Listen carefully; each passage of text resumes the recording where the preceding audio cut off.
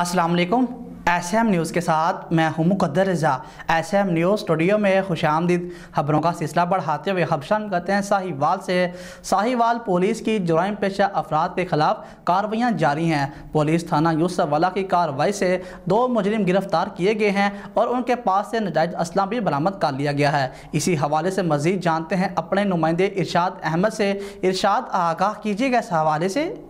जी, बिल्कुल तफसीत के मुताबिक I P O Sahiwal Ahmad Arsalan D P O Sahiwal Sadiq Baloch की हदायत पर एस डी पी ओ सदर सर्कल अब्दुलरहमान आसम की जेर निगरानी एस एच ओ थाना यूसफ वाला मलक नदीम अनवर और इनकी टीम की कामयाब कार्रवाई करते हुए मुजरम साजद और बलाल को रंगे हाथों गिरफ़्तार, नजायज़ असला बरामद। इलाका को जराइम से पाक करने का मिशन जारी रहेगा एस एच ओ थाना यूसफ वाला मलक नदीम अनवर। जी।